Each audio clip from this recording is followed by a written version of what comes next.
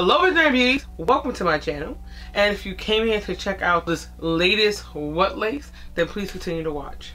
Before you get into this review, why don't you go ahead and hit the subscribe button and turn your post notifications so you'll be up to date when I upload new videos. Today's wig review is a collaboration with Ebony Line. They reached out to me and they sent me out this latest Cloud9 Swiss Lace wig, 100% premium fiber, what lace. Now I have her in the style Reyna and I have it in the color Money Piece Rose Gold. And it says natural density, hairline illusion lace wig. I chose this color because I was curious on what the money piece gold looked like. I was on the assumption that it would be more on the rose gold side. It's giving me more of a gray hue than it is of a rose gold. As you get towards the back of the unit, you get more of the rose gold, a very slight hint of rose gold. So yeah, if you're looking for a complete rose gold unit, this might not be the one because it's more of a hint of rose gold than it is a full-on rose gold. Now I do love the ombre color. They did a really good job. And as far as if you want to know if it's dark rooted throughout, it is not.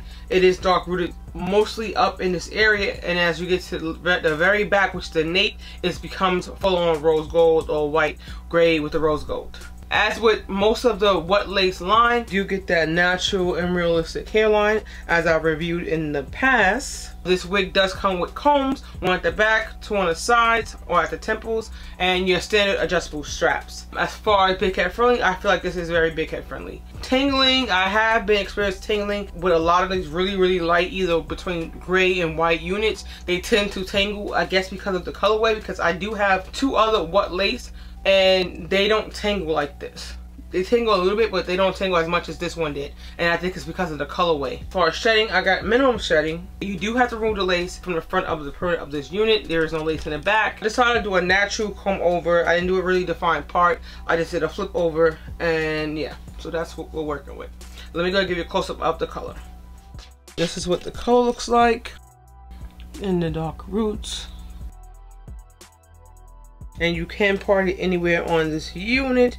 You see my cap peeking through right here.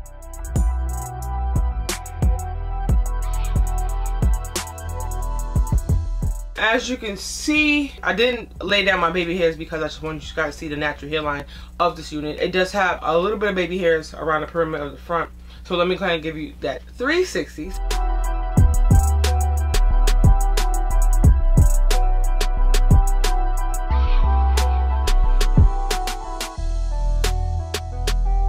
This hair is really long.